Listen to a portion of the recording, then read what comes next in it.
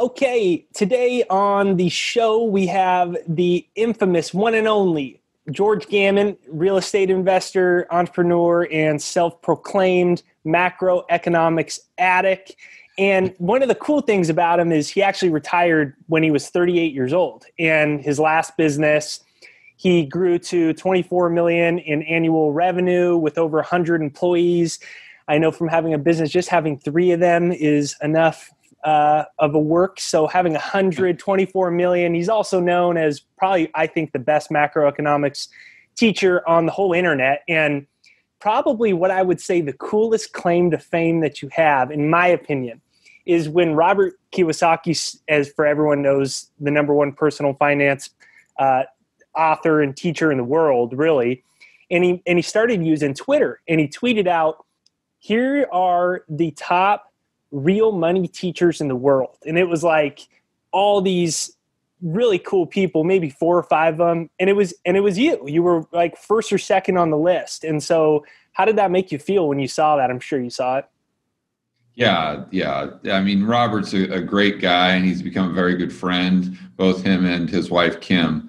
So uh, it was an honor to be included in that list and um, you know just to have a guy like that that i've looked up to for many years uh, say those kind words it was definitely something that i'll remember for a long time.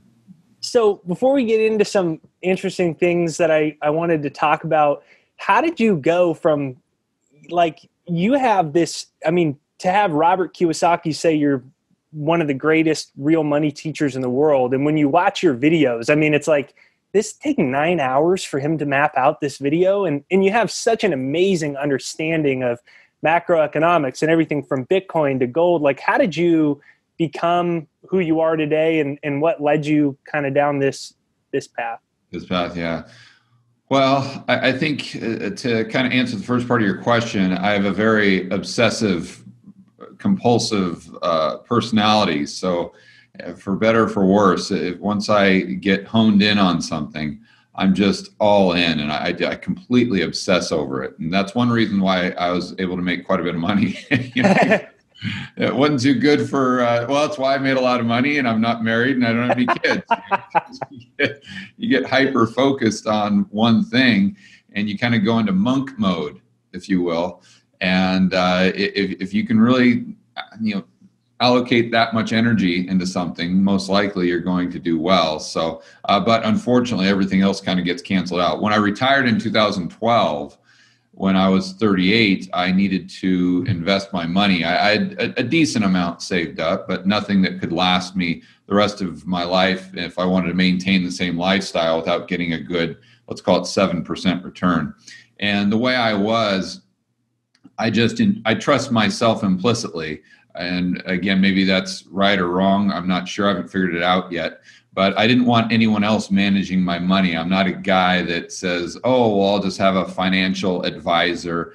And the thought of doing something that everyone else is doing, ever since I was a kid, just rubs me the wrong way. So I was never going to be that guy that just sets up a 401k or just says, okay, I'll set up this 60 40 portfolio, 60% bonds, 40% stocks, and maybe adjust it by my age, and we'll just set it and forget it because that's what all my friends are doing.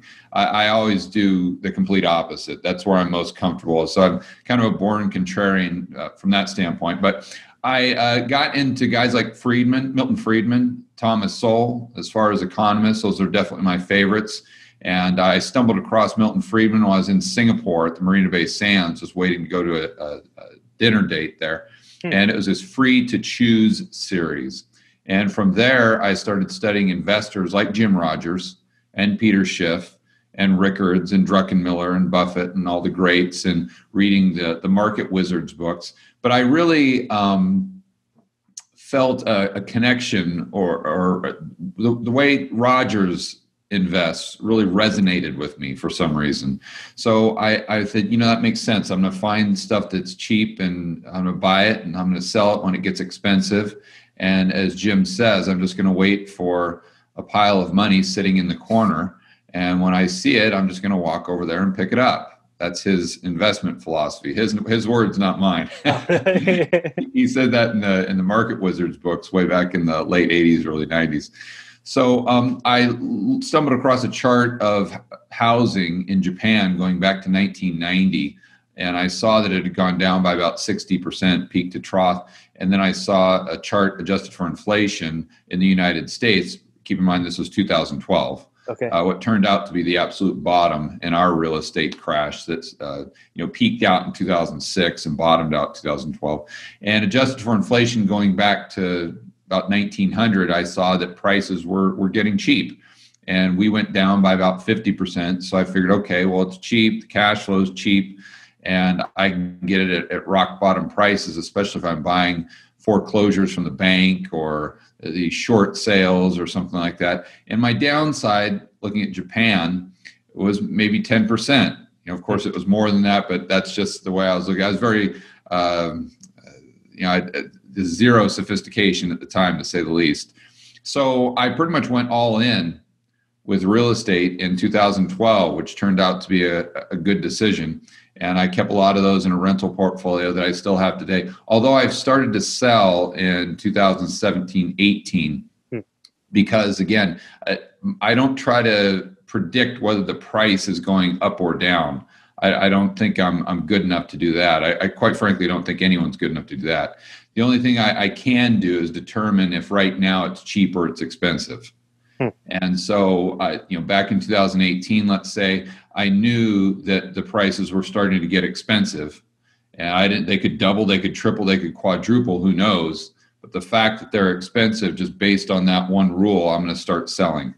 And so I just take that same mentality and apply it to like commodities right now are a great example. We had the crash in uh, March of 2020. So oil went down, as, as, as most people know. So I started buying oil producers and coal producers and uranium back then. And what, what's ironic there is I felt the prices were still going to go down but uh, I didn't try to time it. I didn't try to time the bottom. I just knew that right then and there, they were cheap based on my metrics. So even though I thought the prices were still going down, I started to buy.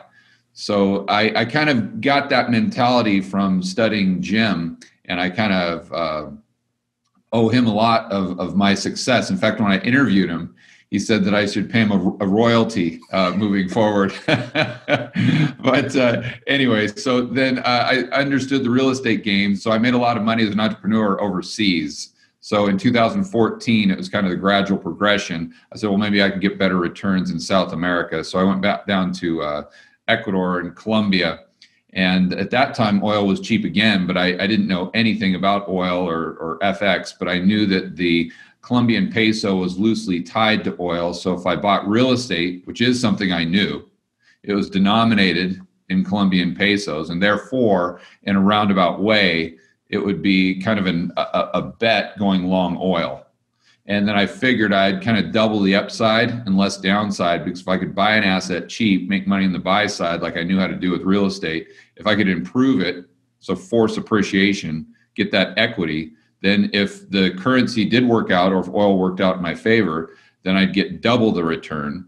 And if it didn't work out in my favor, then I'd hedge my downside because I'd have that cushion with the equity build from a remodel or the cash flow from a rental property.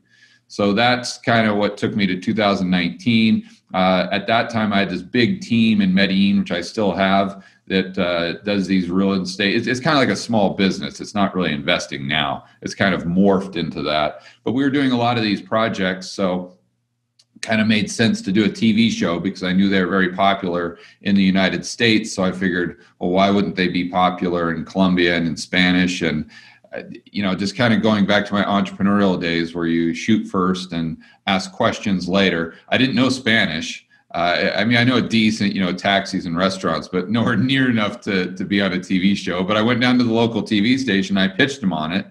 And I said, listen, I'm the real estate investor. I've got a husband and wife team. They're young couple, charismatic. They'd be incredible for TV. Joaquin is my architect, Angie's my designer. So the show can be following us around with, while we're remodeling all of my real estate projects here in Medellin. And so, long story short, they bought into it. We did a season of that, but I had to produce the show myself. So I hired the editors and the camera people. At the end of the first season, this was roughly maybe April, May, something like that. And or I'm sorry, no, it would have been June or July in 2019. Uh, at the end of the first season, I had all these great editors and camera people. So I'm like, well, I don't want to lose these people. I don't want to have to lay them off uh, between now and the next season because we got a great team here that we built. So I better find something for them to do. So that took me to YouTube. And the first few videos were on real estate investing because I didn't think anyone in their right mind would ever want to watch a video on macro or uh, you know investing or anything like that or the repo market or the fed or quantitative easing. But although i really liked real estate investing my passion was macro and every single morning, you know, when you wake up, the first thing I do is look at my new podcasts. And I'd listen to the, the, the latest Peter Schiff podcast, as an example, or Real Vision or Macro Voices. Or I'd listen to the audio book. I was in the shower at lunch. It, even when I was going from real estate project to real estate project, I'd have my headphones in listening to uh, just stuff on macro. This is what I did. I go to the gym, same exact thing. And I'd done that since 2012. So I know it's a roundabout way to get to your question, but that's how I kind of learned that is I just was completely obsessed with it from 2012 and I still am. So eight years later. So you kind of build up a, a, a decent understanding of how things work. And I'm also the type of person that when I hear something like the, the euro dollar system as an example, when I first heard Jeff Snider talk about the euro dollar system. I didn't know what the hell he was talking about. Like uh, euro dollars, what what, what is that? And so the way I am, I, I I can't sleep until I figure it out. You know, not literally, but it really bothers me until I, I can figure it out. So you spend a month straight just listening to every single Jeff Snider interview you possibly can, and kind of trying to put the, these pieces of the puzzle together and you just take out the you know your your legal pad and you just sit there and draw everything out on a legal pad and try to figure out okay if this is happening over here okay i get that but how does that relate to you know if they're creating euro dollar um, let's say bank liabilities or deposits outside the united states how does that affect uh, bank reserves held at the fed or does it you know all these questions that come up and how, how do the dollars get outside the united states? Does there need to be dollars outside of the united states? Well maybe there doesn't you know maybe there doesn't. What if these banking what if the banks outside the us what if they don't have reserve requirements? You know well then do they need dollar denominated reserves to create loans? Maybe they do maybe they don't. You know so you you got to go through the whole thing and answer all these questions in your own mind until it makes sense. And then by the time it makes sense then it's actually pretty easy to, to, well it's not easy but then it's a lot easier to go to a whiteboard draw it up there and just explain to a camera exactly what you've been um, obsessing over for the last month. And that's kind of uh, how I, I do the videos. It's it's not really anything where i I poll the community to see what they're interested in. Every once in a while, I'll see like a hot topic, you know, when the market's crashing or the repo's spiking or something, and I'll do videos on that because I'm interested in it, really. Uh, but for the most part, I just uh, whatever I'm thinking about at the time during that week, uh, that's pretty much what I do the whiteboard videos on. And uh, with the YouTube channel, those thank you know thank goodness those were very very popular, and the real estate uh, videos weren't that popular at all. So it just worked out well because that's what I like talking about anyway. So that's kind of how we got to where we are today.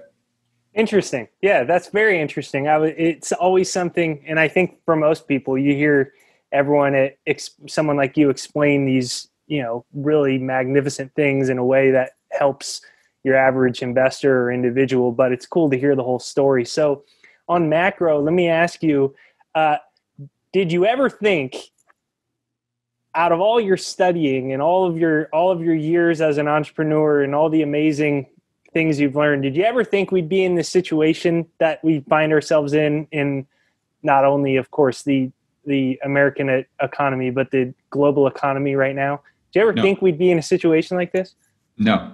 No. Not, not just from an economic standpoint but maybe even more so from a social standpoint.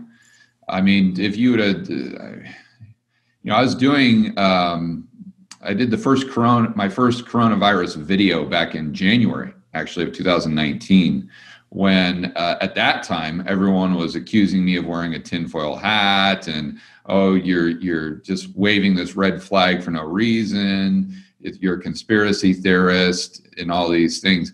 And I'm like, no, guys, just you need to pay attention to this. You know, it might not be too big of a deal, but you, you got to pay attention to it. Look at these numbers. You know, look at the the, the R naught value or whatever.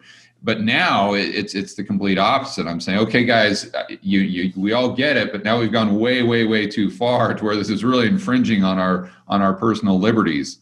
So um, you know, I, I'm not here to debate how how severe it is, whether it's more severe or less severe than the flu. But what I do know definitively is that uh, governments should not be dictating whether or not we're allowed to go out of our house or uh, you know if we go outside if we have to wear a mask or if we can open or or close our business that that, that is not up to a government you know? I always felt as though the government should just give us the data and then let us make our own decisions as adults for heaven's sakes. I, I don't need a nanny state to tell me what i can and can't do and what's best for me and my family or for that matter my business. So i never thought uh, i would ever see government shutdowns and lockdowns like we've seen but um, I, I, guess going back to the economic part of the question, did I ever think that the Fed would uh, be at seven trillion? I, I guess I think yes, I, I, did, but I didn't think it would happen this fast. So I, you know, once they, I completely agree with Schiff, and once they started quantitative easing, it was pretty obvious that there was no going back. Like once you go down this path, it's just like drugs. That's the best example. You know, you can take start taking heroin or cocaine or whatever it is, and you just have to add more and more and more and more and more to get the same effect. And quantitative easing uh, is or artificially low interest rates is the exact same thing. It's it's the exact same thing. And unfortunately, now we're at over seven trillion on the Fed's balance sheet, and um, you know, we saw what happens once they try to unwind that balance sheet. Once they try to go back to let's say normal, you know, their balance sheet before 2008 was right around 800 million, and through the three rounds of quantitative easing, it got up to uh, 4.5 trillion, and then they tried to do what they call quantitative tightening, which is sell some of those bonds and pull back some of that uh, base money supply, those bank reserves, and everything collapses so then they gotta and the repo spikes up to 10% and all these things. And then they got to say whoa time out. Okay that didn't work out too well. Now we've got to go back and start this quantitative easing again. And sure enough now we're over 7 trillion. And uh, i think the exact same thing would happen if not worse now. Because you see once it again going back to the the, the drug user analogy it's like that person that, that you know if they need more and more drugs to have the same effect, their their body is becoming more and more dependent on those drugs. And just and that's the same thing our economy is doing right now. Our economy is becoming more and more dependent upon uh, you know the Fed creating more bank reserves or, or, printing money, if you want to call it that, taking their balance sheet up, uh, artificially low interest rates, just um, you know quantitative easing. It's it's it, it, there's only one way to go. And, and that's just more and more and more until the whole system collapses. Now uh, again i didn't think it would happen this fast but i knew that uh, eventually you got to get to that end game. Yeah so one of the things that i'm really always been infatuated with was the future. And a lot of these things that i you know before you and i were on air i was talking about when i was freshman in college and i kind of my dad helped me wake up and taught me how the monetary system works and a lot of other things. And before I dropped out, when I would sit around on at the time, obviously the YouTube collection was a lot smaller, but documentaries, books, it was things that every person thought I literally had a psychotic break. You know, and you look across the board at these things, you know, back then that was, you know, cashless, uh, digital society that the monetary system is controlled by basically a one world government and you you're actually seeing these things start to um, happen. And so i want to ask you earlier you said that you never thought that we would have such an infringement of of rights and then you said just a moment ago that you never thought that the monetary system would appear to be falling apart this quickly and this early. At, at, at a time. You thought maybe something later down the road. Where do you think that this is going? And I also want to talk a little bit about some of the videos and content you put out on on um, monetary reset and cashless society and ban cash. But you know, maybe you could touch on that. We could go into those specifics. But as a whole, where do you see this playing out? Right, this is a question a lot of people don't want to ask, right? Because it's so daunting. They prefer the question isn't asked, but you know normally i talk to people a lot of my interviews maybe they're more about investments and stuff but you're probably as deep diver and and um, and in the know and studying as as much as anyone and i'm just genuinely curious where does this go? Well more. So what the fed's doing right now just going back to that uh, that drug addict analogy they're just going to have to do more. They're going to have to do more quantitative easing. They're going to have to do more. So what that means is they're going to have to continue to increase the size of their balance sheet. So whether that's taking it to 10 trillion, 20 trillion, the, the debt of the United States is also just going to go up. So I think understanding that those are as close to a 100% probability as we can get. Again, there are no certainties. It's just a matter of, of, of figuring out the probabilities. But say that's at a 90% probability, then you've got to ask yourself, okay, what does that mean for the economy what does that mean for the stock market? What does that mean for the housing market? What does that mean for interest rates? What does that mean if the Fed's balance sheet goes to 10 trillion, at 20 trillion? You know, what does that mean if the Fed's, or what are the knock-on effects if the Fed's balance sheet is at 20 trillion and the U.S. debt is at, call it 50 trillion, you know, double where it is today. Uh, the debt to GDP ratio is 250%. That's on balance sheet you know what happens then and then what is the transfer mechanism right? So if if the if the fed does take their balance sheet to let's say 20 trillion okay do they do that by just the same mechanism that they're using now meaning that they're just creating bank reserves? Because that doesn't necessarily create consumer price inflation. Because those bank reserves don't just get immediately injected into the, the real economy. Usually what would happen is it would just increase the, the balance sheet capacity of the commercial banking system. And so, in, in, in normal human words, what that means is it just gives the, the banks the ability to create more loans. But it doesn't necessarily mean that they do. You see, they have to have a, a profitable loan to actually create, or they have, or the, you know, most people also forget about the demand side of the equation, right? They say, okay, well, we got rid of reserve requirements for the banks, so now they can just lend a, a quadrillion dollars. and yeah, you know, I mean, technically that's true, but they need to find people who actually want to take out loans for a quadrillion dollars. we, we just we always look at the the supply side with lending and we, we rarely look at the demand side and if the the general consumer out there is just maxed out to where their income isn't increasing and yes, you can take interest rates down lower and lower and lower, so their payments go down relative to their income. But at a certain point, you can't take them any further unless we go to a, a cashless society, and we can touch on that in a bit. So, it, so I just went through kind of like a, a mental experiment there, saying, okay, well, it's at 20 trillion, but if we're confined by the same system we have now, maybe that creates inflation. Maybe it doesn't create uh, consumer price inflation, but if we move to a different type of system where the Fed can circumnavigate the commercial banking system so they don't need the commercial banks to create loans to create additional money supply in the real economy, chasing those goods and services. So, and this goes back to a cashless society, digital uh, government backed currency type thing.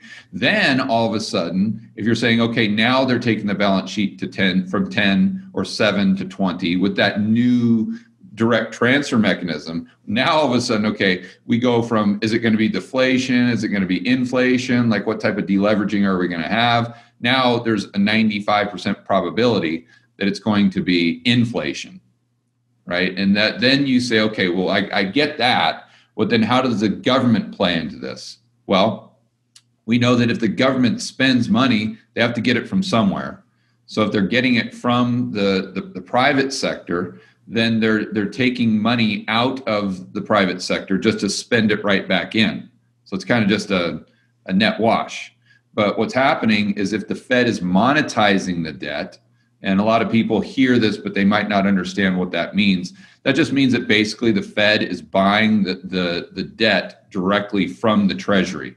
And there is a shell game there. So legally, they can't really do that, but it's all just nonsense. What happens is the primary dealer banks buy the treasuries at auction first, and then, like, 20 minutes later they just flip it to the fed and the fed pays them so so the fed isn't technically buying it directly from the treasury but that's the the, the net result right so mm-hmm. then what's hap- so then you ask the question well where is the fed getting the money to buy these treasuries well they're just creating more bank reserves so if they're just creating more bank reserves then that's not then that isn't sucking out any dollars or any liquidity from the real economy. The only thing that's happening is they're just spending more dollars into the real economy.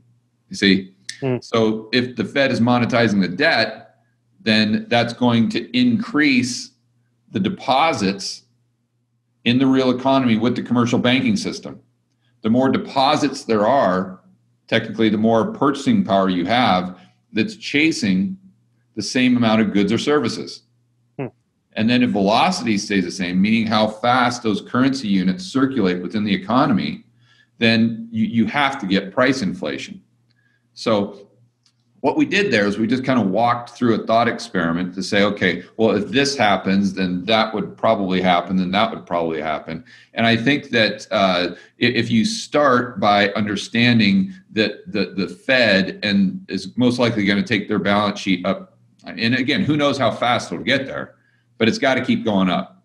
And and it, there's a 90% probability, let's say that happens, and then you assume that there's a 90% probability that the government will continue to have to have to run deficits because again, it's that it's it's our economy has become addicted to government spending and the Fed creating all of this what I call funny money, these these bank reserves and lowering interest rates, and so it, we can't go back, right? It, it causes to well, we could, but it would cause a, a, massive amount of pain. And I don't think that's politically palatable for a politician because they know there's no way they're ever going to get reelected. And uh, I don't think we have. I don't think you know. There's individuals out there that would like that and would just kind of tighten the belt buckle and whatnot. But I think as a society at large, we're not willing to do what is required to kind of hit the reset button and go back and start building from a solid foundation we're just going to keep using more and more and more drugs, right? And that's why we need that deleveraging that I was referring to earlier. But I, I think that my main point is if you look at the, the probability being very high that the Fed's going to increase their balance sheet, keep doing so, and the government's going to increase government spending and deficit spending, then you can start to kind of plug that into your own equation to figure out what the probabilities are that X or Y happens. But it, but it's always a moving target right? Because the system could change. Like prior to, to COVID, you never ever would have imagined that the Fed would just set up uh, special purpose vehicles to buy corporate debt and to buy junk debt. Because why? Because that's completely uh, antithetical antithetical to the Federal Reserve Act that the, the, Federal Reserve Act doesn't allow them to go buy corporate debt, right? So you'd say, okay, well, if, if, we're living within the confines of the Federal Reserve Act, then there's no way they can do this, but they did. So when they do that, then you have to readjust your thinking, and then you have to readjust your probabilities. Fascinating. Yeah, that's really interesting. So you probably get it a lot because especially because you make so many macro videos but there's a lot of people that that basically would just say you're going to get a brain hernia by thinking this deep. Nothing's really changed significantly at all. This is going to keep going this way. What's your response to somebody that basically says yeah you're probably right in theory and maybe things will happen but you know you should uh, you know go outside and drink a beer and turn the tv on and chill out a little bit because there we haven't had this inflation that the peter schiffs have been saying you know you're going to walk around with a wheelbarrow full of money soon and these things haven't happened. Right. And what's your what's your response to that? Well, they never happen until they do happen. Hmm. And I mean, a lot of my employees in Colombia are from Venezuela. Hmm. And I mean, if you think back to the beginning of the Hugo Chavez days, when uh, Venezuela was was very near to the richest country in South America, and this is early 2000s. Right? I mean, think about how many people there were warning when Chavez got into power that this is not going to end well. If you socialize all of these, uh, let's say the oil companies or the oil industry, and if you start just giving handouts and turn this into a welfare state, and if you base the entire economy just on one thing, and that's oil, you're, you're at some point in time, the price of oil is going to go down, and you're going to be leveraged to the hilt, and you're going to have to pay the fiddler. And just i mean you could have said the exact same thing. In fact i'm sure people were saying the exact same thing. Yeah. Oh just go outside and have a beer. Don't worry about it. You know we haven't seen it yet. You keep talking about this hyperinflation and we haven't seen it here and chavez is great. And don't worry about it. The price of oil is just going to go up and just chill out a little bit. Well that's fine. Uh, you know we're not going to have hyperinflation until you get hyperinflation. And it's the exact same thing with uh, you know the stock market in the United States in 2009 or 2008 right? Oh yeah don't worry about it. Or the housing market. It's another great example of that. Oh don't uh, don't worry about it. The housing prices always go up. You're just a naysayer. You're just uh, you know you're just you're you're fear mongering yeah. you're just uh, you know blowing the whistle for no reason whatsoever. Just uh, you know buy a house and enjoy the profits. You know keep flipping those houses. Just don't worry about it. We've never seen real estate prices go down. So you know they don't go down until they go down. And it, it's a it, again it's a matter of probabilities right? And when i first got into to business and became an entrepreneur one of the things that i did just as kind of a hobby was play blackjack and so I, I, learned how to count cards and I taught myself. And same thing there, I would obsess over it when I wasn't working. I'd go straight to the casino and just literally play eight hours straight to where the, the employees just could not believe I could sit at one table that long. And um, and then I was just practicing basic strategy, so I wasn't even counting cards. I was just trying to train my brain to to think in terms of probabilities. But it's the same thing as if you go and play blackjack with one of your buddies and you're there having some drinks, and uh, you know you're telling them that this is a game of probabilities, and saying, "Oh, shut up! I don't want to hear it. I just want to enjoy myself. Why do you always have to?" be a downer and let me just do my shot of whiskey and then let's say they get a 19 and you tell them, hey, and they're like, well, I think I'm going to hit on this 19. And you're like, oh, whoa, whoa, timeout. You know, I, again, I don't want to be a downer, but that's not a good idea to hit on a 19. The probabilities are are really, really against you. You should not do that. Oh, shut up, George. You just go, you know, go talk to someone else. Leave me alone. I'm going to go ahead and hit. So they hit and they get a 21. Right. And then of course, what do they do? They turn around to you and say, Oh, see, you were wrong. If I would have listened to you, I never would have got this blackjack. Yeah, fair enough. But if you continue to do that in the, in the long run, we all know what's going to happen. You're going to go bust. So that's how I kind of answer that question. If you want to ignore probabilities, if you want to ignore what's going around or what's going on around you, if you want to just whistle by the graveyard, that's fine and hopefully you'll be able to get out before it all comes crashing down. But why take that risk right? Why not just be cognizant of it and set up and set up your portfolio so you can make money regardless of what happens?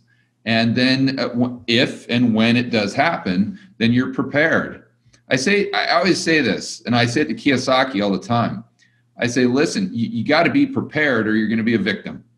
Those are your two choices there, there are no other choices than that. Yeah, that's interesting. So I want to ask you a little bit about investing and a little bit about uh, a business. But one of the things that I thought was really interesting when I was looking at uh, your work was there's a lot of people when they hear the term of this idea of a digital money or a war on cash or banning cash and they want to attack it to do this digital thing. If you don't think about it much, it really does just sound like a ridiculous conspiracy theory idea because you don't understand the uh, actual rational steps as to why it's actually a necessity from their eyes in our way our monetary system is going. And I found it really i mean incredible. I think it really is an incredible work to humanity was your your videos on war on cash. And i don't say that lightly because mm-hmm. you explain it in such a important to understand way as to why they would actually want to do it.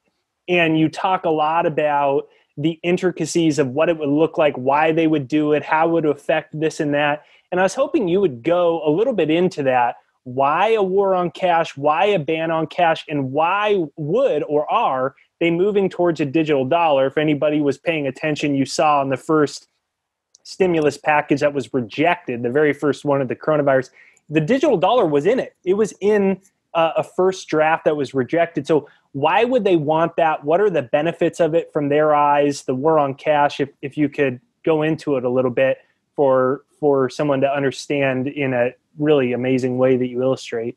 Yeah, it's it's really taking the opposite side of it and say why wouldn't they want it? I, I mean, it gives them just limitless power, and we all know that's what politicians are all about. You know, you got you got to think about what it takes to be a good politician. You just have to be power hungry. You have to be willing to lie. Uh, it's just like the best liar wins.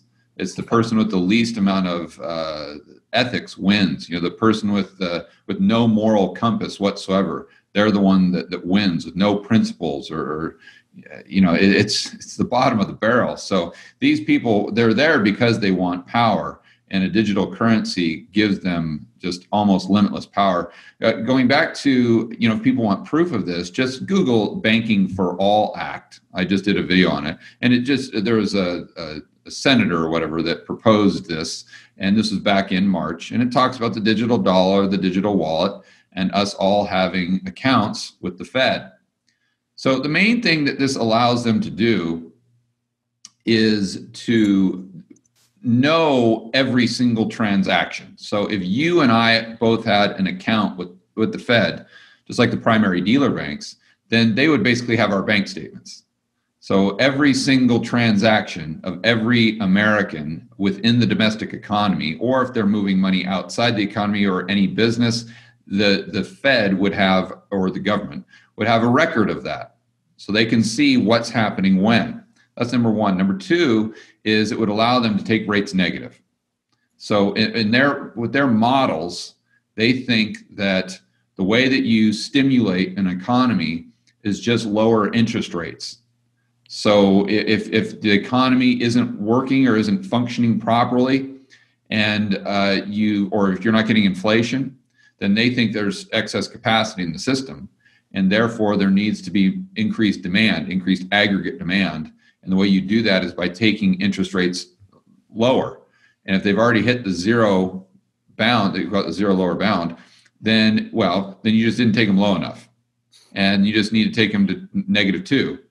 And if that doesn't create inflation, well, you just didn't take them low enough. Then, you know, you need to take them to negative five, negative 10. At no point in time did they ever look at the model and kind of scratch their head and say, hmm, I wonder if this doesn't work? that never that never crosses their mind. You know, they look at Japan, they look at Europe, and like, hmm, they've been trying this stuff for decades and they haven't gotten inflation. Maybe it doesn't work. No, no, no, no, no. The conclusion that they draw is, well, they just didn't do enough. Right. So how do you do enough?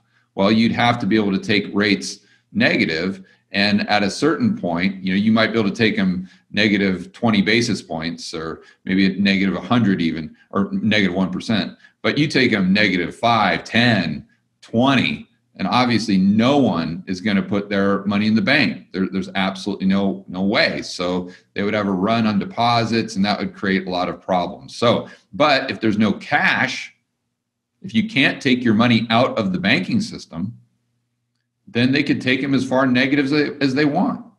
And another problem that they're that they know they're going to have is through tax receipts. So if you assume that the government's deficits are going to increase and we're going to go to who knows 50 50 trillion who knows where we'll we'll stop next as far as the uh, the government debt. And i'd like to remind everyone also that this year we'll have near a 5 trillion dollar deficit. So people say okay well what does that mean george? Well in the first 220 years of our country's existence from 1776 to 1996 we accumulated about 5 trillion in debt and we're going to accumulate that much debt just this year, oh. just this year alone. So to say the government is going to have a hard time paying that debt or without creating inflation, because the MMT people are going to yell at me right there and say, "Oh, they can pay the debt; they're the currency issuer." You rube, they can pay it. You know, they're not restricted by. Uh, by you know having to collect dollars before they can spend them because they issue the currency itself. Okay, but it all goes back to inflation. Even Kelton and Mosler say, and they're kind of the, the, the grandfather and grandmother, if you will, of, of the modern MMT kind of uh, narrative. They would even admit that your constraint is inflation. So I'll just I'll, I'll preface with that. But uh, so the only way they can get there is it, without just monetizing 100% of the debt, it, which would likely create inflation, is to collect higher taxes. Okay, well, the problem with that is, uh, and, and, most people just come right in and say, okay, that's fine. Well, the rich need to pay their fair share, and you just need to uh, increase, you know, the corporate tax rate. Uh, we should be paying what Sweden is paying, or something like that. But what they don't realize is if you look at the tax receipts as a percentage of GDP, it never changes. Hmm. So you can go back, you go back to the 1940s, or the 1950s, or 60s, or 70s, or whatever, when you had that highest marginal rate at call it 60, 70, 80%. And the tax receipts as a percentage of GDP were still right around 18%. Hmm. The exact same thing, the exact same amount of tax revenue was collected in the mid or late 80s when we had like a 25 or 27% highest marginal tax rate. And I, I think that the, the people, not that there's any politicians or people at the Fed that are that intelligent, but if there are, I think they look at this and say, okay, wait a minute, just jacking taxes up to 80% isn't the answer because people won't pay the taxes. That's just clear. They'll find ways not to pay those taxes. So, therefore, uh, we have to have some sort of system to where we can take the taxes in advance or people can't move their money around to get out of the system to where if we did raise tax rates to 80% we could just take it straight out of people's accounts. They would have no they would have no control over it. Hmm. or what i think they might do is they might just make you prepay it. So every single time that you take uh, and spend money that they take a percentage of the amount and then at the end of the year when you file your taxes they say okay well you've paid $200000 in tax because that's 10% out of, of everything that came out of your account. What do you owe us you know now now we'll go ahead and, and, and settle up or something like that and hmm. you're just at the mercy of the irs to determine you know whether they think you should pay x or or or y and um, if anyone thinks that the IRS takes what they should collect based on your actual tax rate, you're kidding yourself. You've never been audited. I can promise you that. I've been audited five times, and uh, and when push comes to shove, the IRS just makes you pay whatever they want you to pay. it's not about right or wrong or dotting your I's and crossing your T's. So just just forget about that. But my point is having the uh, digital currency and a, a cash ban, you would lock everyone into this system to where their purchasing power had to circulate within the, within the system, and the Fed and the government would have total control over that. So uh, y- again, you, have got them just having limitless amounts of power. It, they have the ability to take rates negative. excuse me this creates a huge amount of data. So we'll start in order huge amounts of data, negative interest rates, and they can collect any amount of tax that they want. Uh, they could also kind of finagle how the money is spent. So they could say that um, if they want to prop up the uh, green energy or maybe electric vehicles, something like that, they could just immediately flip a switch because it's all code.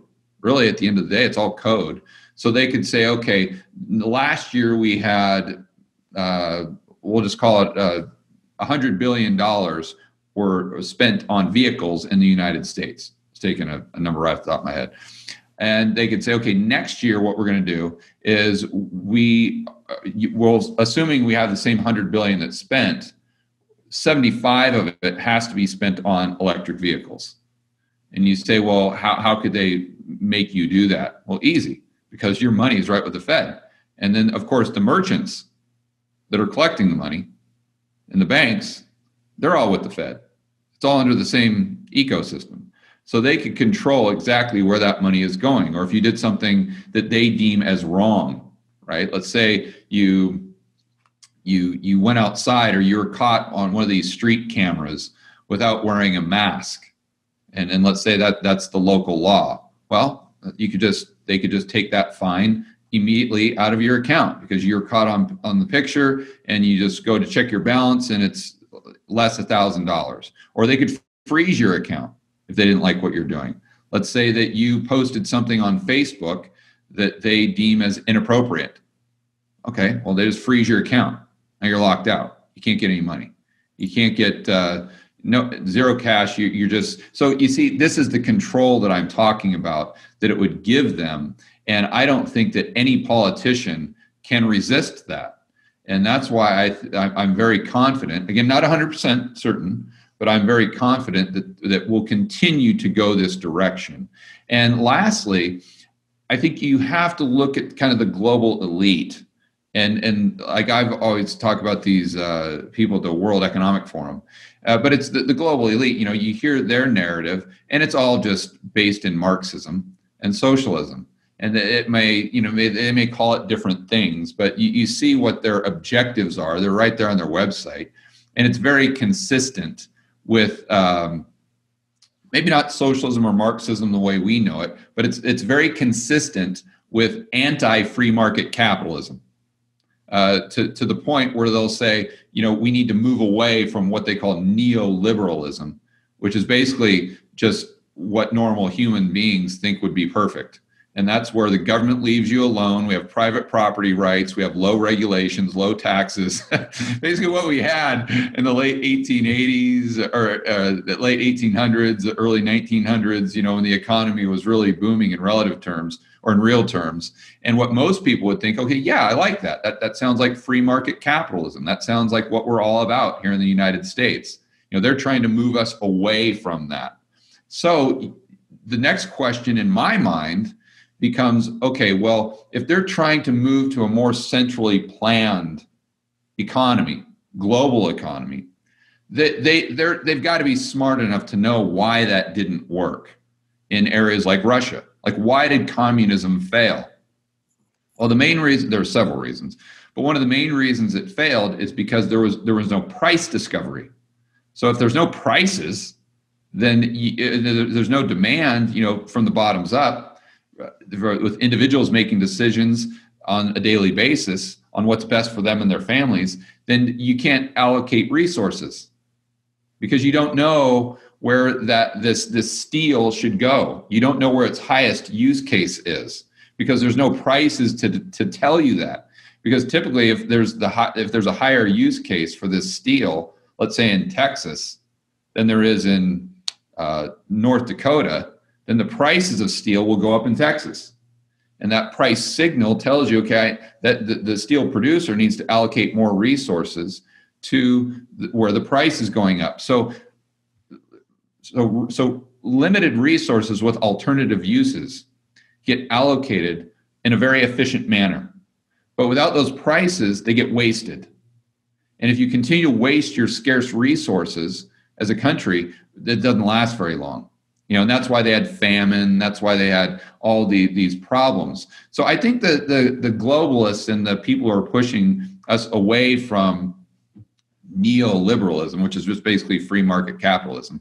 Uh, they, I think they get this, and I think maybe, and this is just a total hypothesis. I've I've no proof for this whatsoever, other than i just kind of thinking it through in my own mind. Uh, you know, maybe they're looking at AI as a way to solve the problem. So if you had, and that's why I go back to big data. That's why I started with big data, because if you have everyone's account at the Fed, and therefore they're they're they're collecting data on every single transaction in the United States, everyone. So we're talking about billions of transactions daily, and they could just take this AI, then the AI, in their minds, would be able to allocate those scarce resources just as well as a free market capitalist economy could. Because you wouldn't need price discovery because you'd have the AI and then you'd have enough data coming in so the AI could could learn and could do its its job. You know they're saying this not me. Right? so then that's that that kind of solves their problem. They're like okay well now it, if we can get this price discovery out of the way where we don't need this and we can allocate those resources maybe even more efficiently than a free market capitalist society could now done deal. We can move closer and closer to this socialist utopia that's all centrally planned without having to you know have any of the downside of what communism used to be. And so i think and again, this part of the equation, I have no proof for. It's just me kind of, you know, brainstorming. And I did a video on it the other day. A lot of the other stuff we talked about, there's proof right there on the internet, the, the website like the Banking for All Act. You can just check that out. So I, I want to make sure that people understand and compartmentalize the two ideas. But I think that's why the big data could be so important. But as far as the power, the negative interest rates, and the taxes, that that's I think obvious. Yeah. So uh, number one, by then I'm going to have a hundred acre farm with an electromagnetic force field that will actually disintegrate anybody that comes into this. So that's number one. Number two is we might need you to shut your YouTube account down because you thought about this stuff so much. They might actually be going to your channel to figure out their their plan. Well, so the BBC might, did a hit piece on me. They did. Yeah. Oh. So what happened is the first uh, video I I did exploring this. I call it is the, the Great Reset. And uh, ironically enough, the people at the World Economic Forum that those are their words, not mine. Yeah, They're I watched all the stuff too, all, all, the same things that you talk about. I'd seen it all. Yeah, you can go to their YouTube channel and just type in World Economic Forum Great Reset, and you'll, you'll see their videos. It's I'm not making it up or I'm not editing it. And ironically, the almost the entire video that I did, I just took it straight from their website. And I just basically explained just the diagrams that they have right there. And of course, the, about a month later, I don't know when it was, uh, the BBC does this hit piece. I wasn't the only one included, but they, they included me on this hit piece on misinformation on YouTube and how you better not listen to these guys because they'll brainwash you and they'll take you down this rabbit hole to where you you won't be making decisions with your own cognitive ability. You know, they'll manipulate you into believing all these crazy conspiracy theories when I don't think they even did enough homework to realize that uh, the video they used of mine as an example of this misinformation was directly from their the World Economic Forum's website. So um, they're already, I think they, and now is there any relationship between the people at the World Economic Forum and the BBC? I'll let you decide. If you have any sense, the answer is yes. All you got to do is a tad bit of research. So let me ask you. So in in and this is what I'm really interested in. Really, what I wanted to talk to you about was all all about the future and and and um, but let me ask you. So what you were sharing was like so detailed. And first of all, before I say that, one thing that I do want to say that I really appreciate about you is there's a lot of people that talk about this type of stuff and they're very angry and they're very upset and um, and it's and it's nice to have someone who's teaching so many people of these important things and is still able to stay lighthearted. So I I, uh, I know I'm sure many people appreciate that as well. Um, but let me ask you. So you're talking about in so much depth of all these things and coding and and uh, digital dollar in a in a Fed wallet that pulls the money and the taxes out. Seems like that would take a long time to create.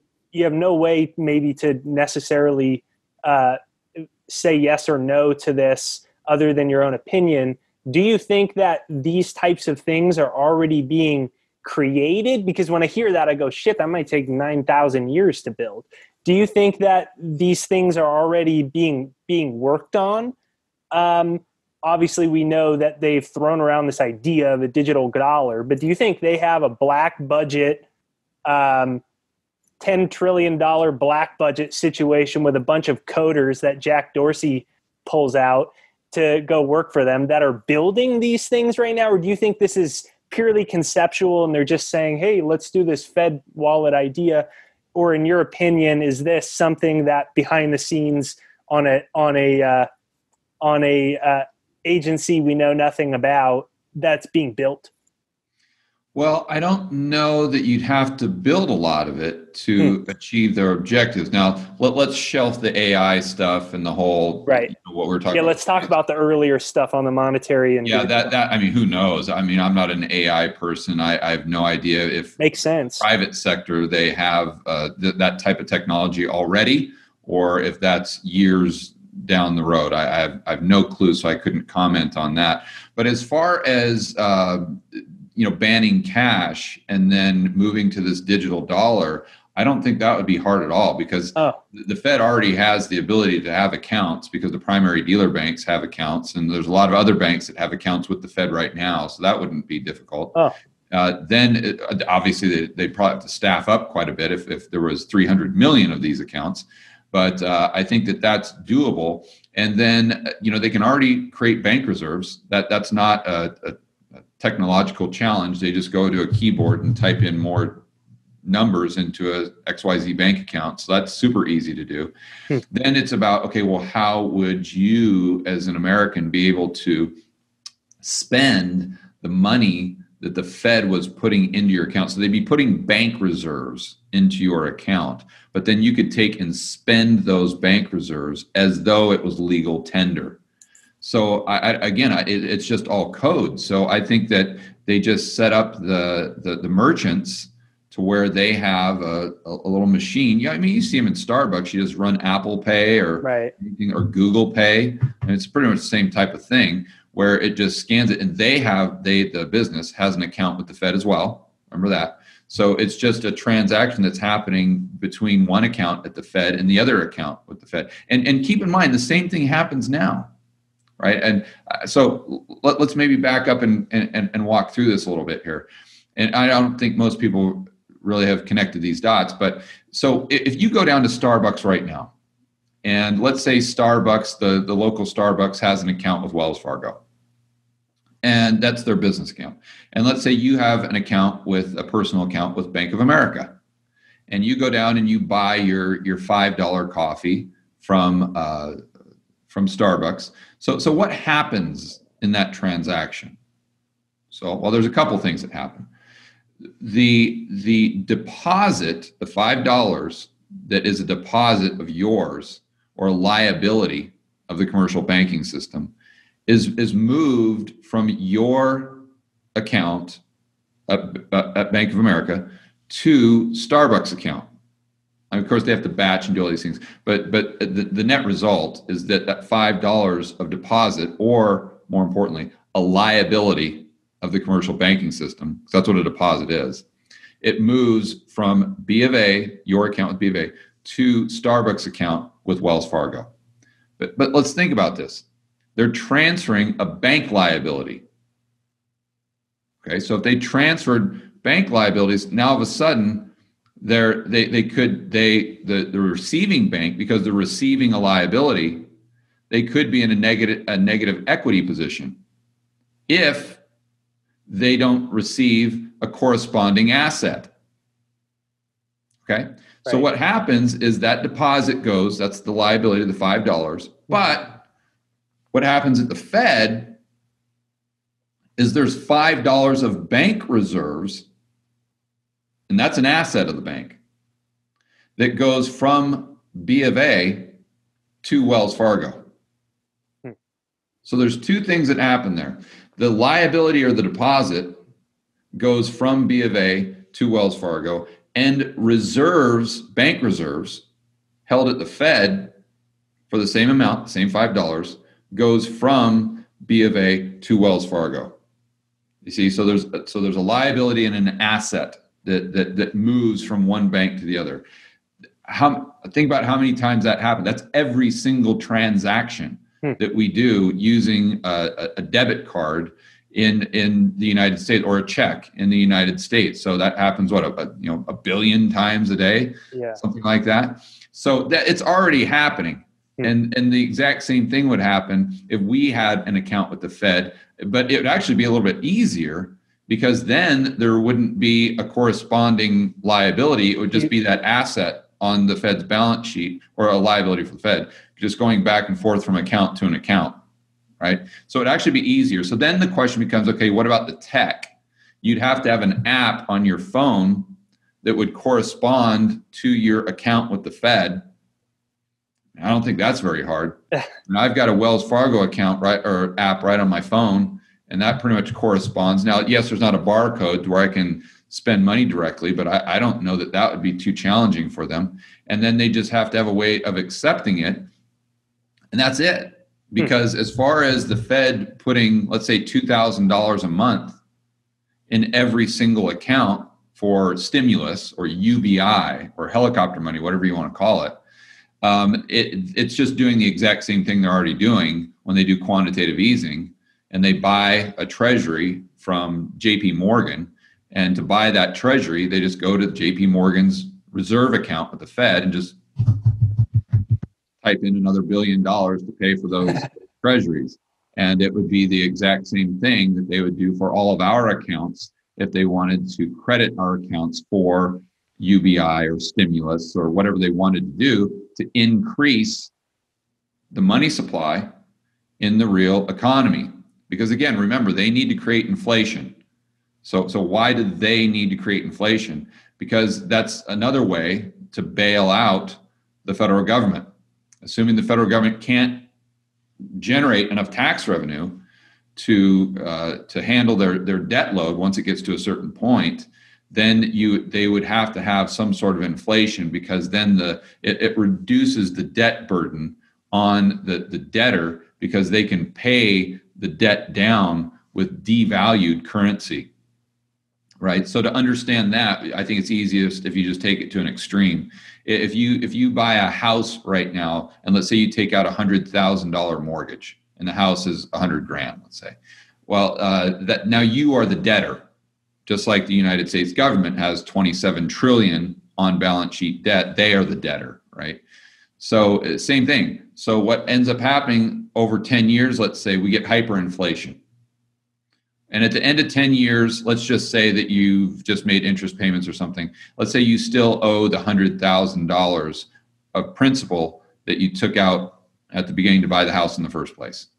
Well, but let's say we have this hyperinflation to now $100,000 only buys you a loaf of bread. Well, what you can do is you can basically pay off your entire loan with the same amount of money you would have paid to buy a loaf of bread. But now all of a sudden you own the house. And the house, the underlying asset, has the same amount of purchasing power. It can buy the same amount of goods and services that it could have purchased 10 years prior when you bought it. You see? So so let's say the house when it was when you bought it initially could have bought whatever. Let, let's say it could buy 100,000 loaves of bread right? So at the end, when you pay it off, it can still buy 100,000 loaves of bread, but you paid off your debt with the equivalent of one loaf of bread. So all of those other loaves, loaves of bread was a transfer of wealth or purchasing power from the bank, from the lender to the borrower. Hmm. You see, because they're paying it back with cheaper devalued dollars, right? And it's the exact same thing. That's why the government would like to get inflation. So when Powell comes out and says that they're moving their inflation target to 2% to a 2% average or some nonsense like this. You, and you're kind of scratching your head and you're saying to yourself, Boy, that doesn't make any sense. Why do they want? Why do they want me to pay higher prices? Like, why is that a good thing? It, why, why is that a good thing if we as Americans go down to the grocery store and every time we go to the grocery store, the bill's higher? How does that make us richer? Well, it doesn't. The only thing it does is bail out the government because they're paying those, their their nominal debt back with with cheaper dollars. Hmm. See, so so again, my, my point is is that's another way that they could create inflation, which the government has to have in order to maintain this this charade and to continue to kick the can down the road. Hmm. So what you're saying here is it's very possible that legal tender will be loaves of bread in the near future, and we'll go into the bank and I'm making. Yeah, not, not, not, necessarily. I'm that, just making but, a joke. Yeah, not necessarily that, but uh, you know, like when I go down to Colombia, I spend a lot of time there, and uh, a common uh, bill uh, is is a fifty thousand peso bill. Okay, well that buys you buys you lunch, right? But but think about that. I mean, when when Colombia when they set up the, the peso in the first place, did they start off by saying, okay, well we want lunch to cost fifty thousand pesos? Did we just like all these zeros on here for no reason at all? No, of course not. It started off as a five. And they added another zero, 50. Now they added another zero, 500. Now it's 5,000. You see where that goes? Now it's 50,000, but it still just buys you lunch. So what has to happen? What do you think has to happen for them to get to that position? I mean, I thought that they would use the. I thought they would say your coronavirus spreads on dollars, so we have to immediately make them illegal for public health. That's mm-hmm. what I thought was going to happen. It didn't. Uh, what do you think has to happen to get to that to, to this stage that you're talking about there? I think there's several things they can do, and and unfortunately, I think that we're going to bring it upon ourselves. Like we're going to want it. Hmm. Uh, you know, I, I, mean, as an example, I, I, was looking at my Twitter feed today, and the people on my Twitter feed are, are very, uh, you know, very libertarian. They're, they they don't want they don't like the Fed. Most of them they, they want the free market capitalism. And I was talking about the the Banking for All Act uh, getting around the commercial banking system and potentially putting the banks out of business. And this individual responded to, to, one of my tweets. He says, "Oh, that's fantastic. We need to get rid of the banksters." Hmm. I'm like, "No, no, no, no, no, no, no. Be careful what you wish for, my friend. You know, you're you're going from the the frying pan into the fire." And so I, I think that, or, or let's look at it from a standpoint of stimulus that's what I was going to say. It's an interesting problem reaction solution when a bunch of people don't have jobs. You can, and everyone, you know, online, I mean, you see people that are normally con- fiscally conservative that are basically begging for money right now. Yeah, right. Right. So you say, okay, if you want your stimulus check, well, you just have to download the, the Fed app, and then we're just going to set up this awesome, super cool, convenient bank account for you with the Fed. Oh, fantastic. Great. How do I sign up? Yeah you know, there's going to be no connecting the dots saying, wait a minute, if the Fed has my bank account, all my information, then it could lead to this, this, this, and this. Like, like people, all they see is just free money. And like, okay, what do I need to do to get it? Okay, done. That's what I'm going to do to get my free money.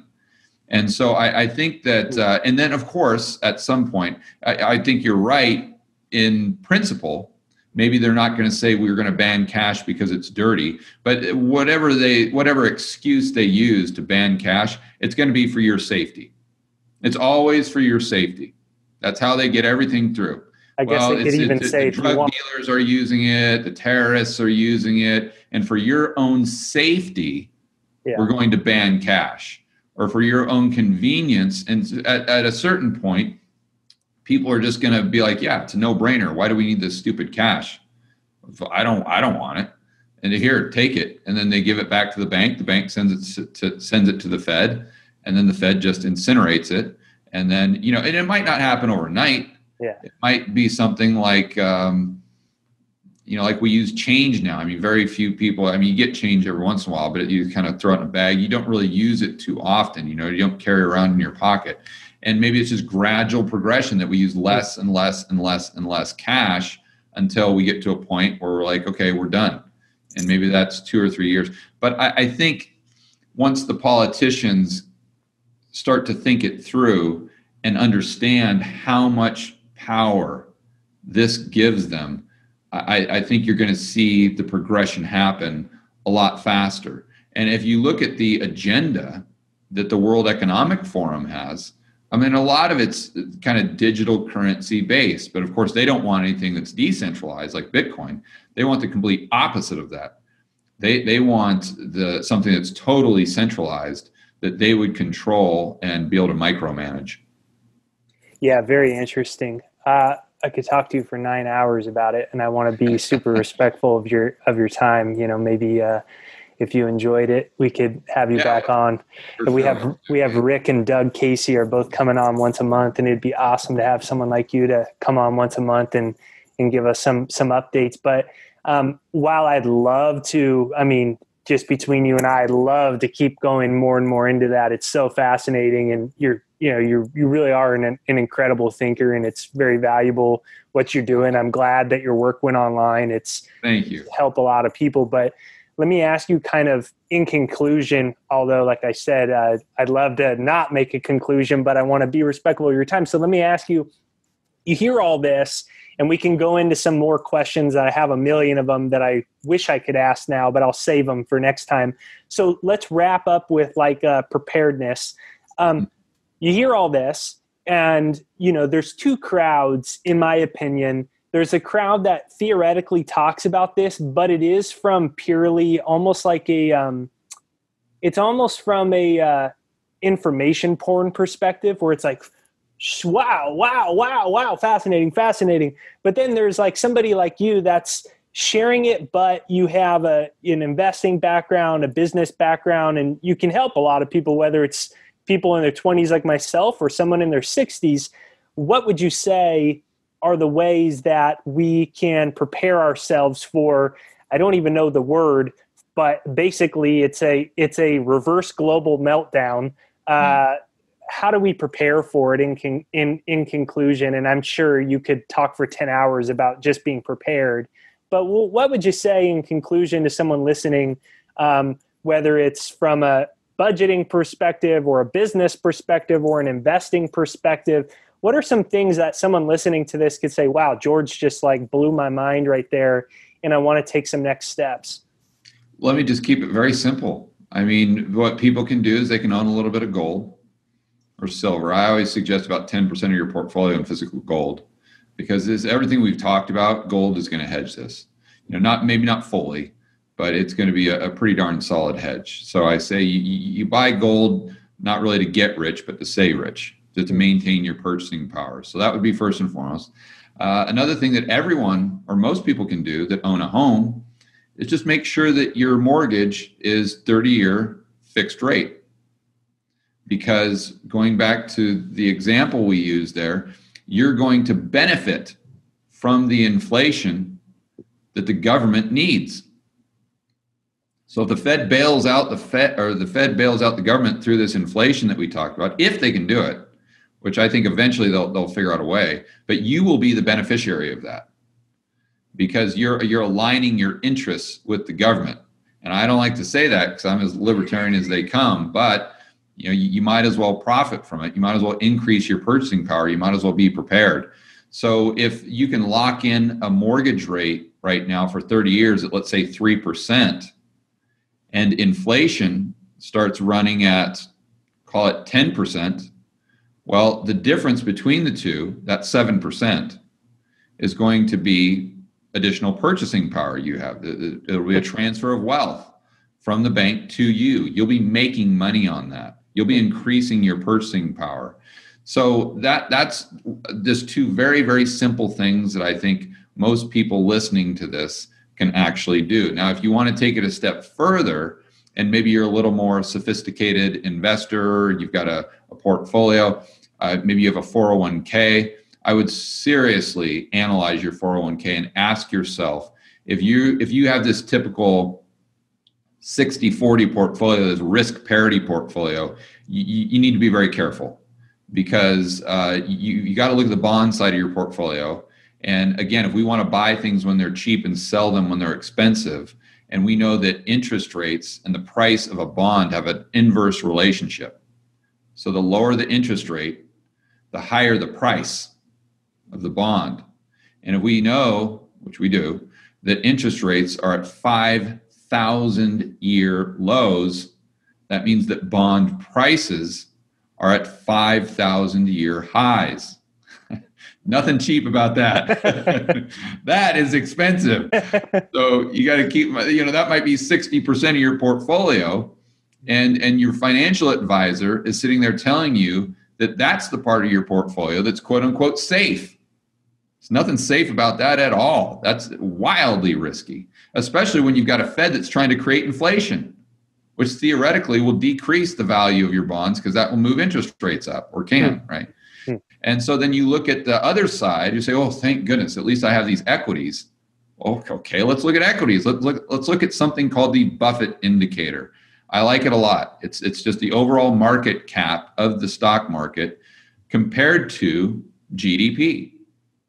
So you, you'd think there should be a relationship there, right? Because the, the, the GDP is reflecting the businesses and the corporations that are within the real economy that actually have sales, and the stock price should be reflected by how much profit or how many sales those businesses are actually making in the real economy.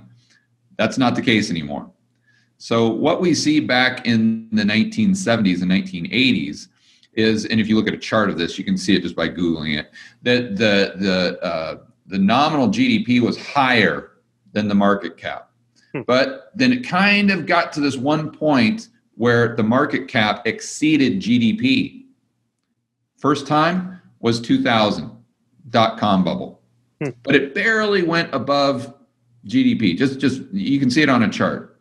Then the next time it went above GDP meaning the, the, the uh, market cap was 2007. And it went up just a little bit more. Okay. Well, now look at a chart. I mean, if there was this much of a difference in 2002, maybe this much of a difference in 2007, now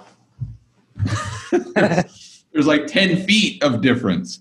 And not only that, what's really frightening about the chart is you see that this is the only time in history, and, and the chart I'm looking at only goes back to 1970. So, but I doubt it occurred uh, prior to that, especially when we were on a gold standard or a quasi gold standard. So, but this is the only time going back to let's say 1970 for sure that the GDP has just fallen off a cliff.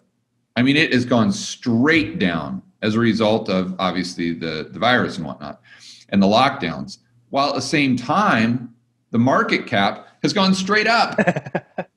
They've completely diverged to where one's going this way, one's going parabolic, and one's falling off a cliff doing a wild e coyote.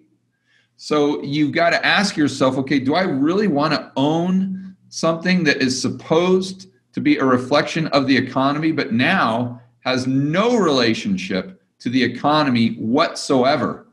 And just like bonds, as a, is at an all-time high price? I mean, my simple answer would be no. And then you think about what the other, the other part of their net worth most likely is. Uh, if you think about the their whole uh, portfolio, if you think about their entire net worth, most likely they've got a high percentage of that net worth in 401k, what we just talked about, and the other percentage of their net worth is most likely their home equity. Yeah. Okay. Let's look at a let's look at a chart of housing prices adjusted for inflation going back to 1900. Prices all time high. So you've got 100% of your net worth in assets that are at all time highs. And, and you're and you're thinking you're, you're 70 year old 70 years old and you need to retire that needs to last the rest of your life and you're basically invested in three things that are the equivalent of the tulip bubble so, so that is the, the furthest thing from safe. So then you ask the question, okay, well, what is cheap? Maybe I want to divest, maybe I want to sell what's expensive. So I sell my bonds, sell my stocks, sell uh, the real estate potentially. What's cheap? Commodities. Hmm. Commodities are cheap. So oil is cheap, coal is cheap, um, uranium, copper. These things are, are, are very cheap. The gold miners, the silver miners, especially when you compare them to M2 money supply or, or the Fed's balance sheet or base money. So these are things that's cheap. And I'm not saying go all in. You, you got to have a diversified portfolio, that's for sure. But the way I like to set up my portfolio personally is have that 10% allocation to gold. Then I like to allocate 10% of it to speculation. So those are things that I just feel as though there's asymmetry. So Bitcoin might be a good example of that, or the gold miners would be a good example of that. Uranium would be a good example of that. And then 80% of my portfolio I like to have in an asset that or multiple assets that pay me to own them. That's how I define investments. Hmm. So that would be like an oil producer that's paying a very nice dividend, maybe a coal you know miner. Most people don't like that because they think it's going down with energy, but that, they they forget that steel is made from coal. So uh, you know you got a great dividend there. You're just buying the cash flow basically. Hmm. And so uh, that that would be an example there, maybe a foreign bond. So even if you're not right, it doesn't really matter too much because you're still just collecting the cash flow hmm. and you're buying that cash flow when it's cheap. Uh, one thing I think people should should and maybe this can be the main takeaway from uh, this last part of the segment is that if you go back to 1968, what's the best performing stock in the entire stock market? What do you think? I don't know. Altria. Huh. What is that? They make cigarettes. Oh, really? Interesting. They make cigarettes. And then what's the best performing sector since the mid 1990s? Tobacco. Hmm. So why is it why did it perform so well? Because they're cash cows. They just pay these massive dividends and they just keep paying them and paying them and paying them and paying them.